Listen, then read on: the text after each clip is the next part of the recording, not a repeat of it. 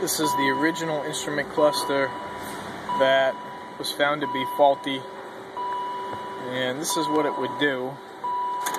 With the key on, the battery light would stay on. And if you watch the lights, you're going to see these lights here flickering. Sometimes it was those lights that would flicker. They'd flicker with the engine running. They flicker just with the key on. And if I check that same pin, pin 3, that I talk about in um, the replacement cluster, which I don't have the 12 volt signal on, um, this one must be grounding internally.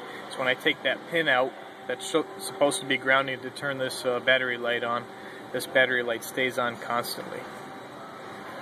And the main failure or reason for this was a valve cover gaskets were replaced and the ground straps were not installed correctly.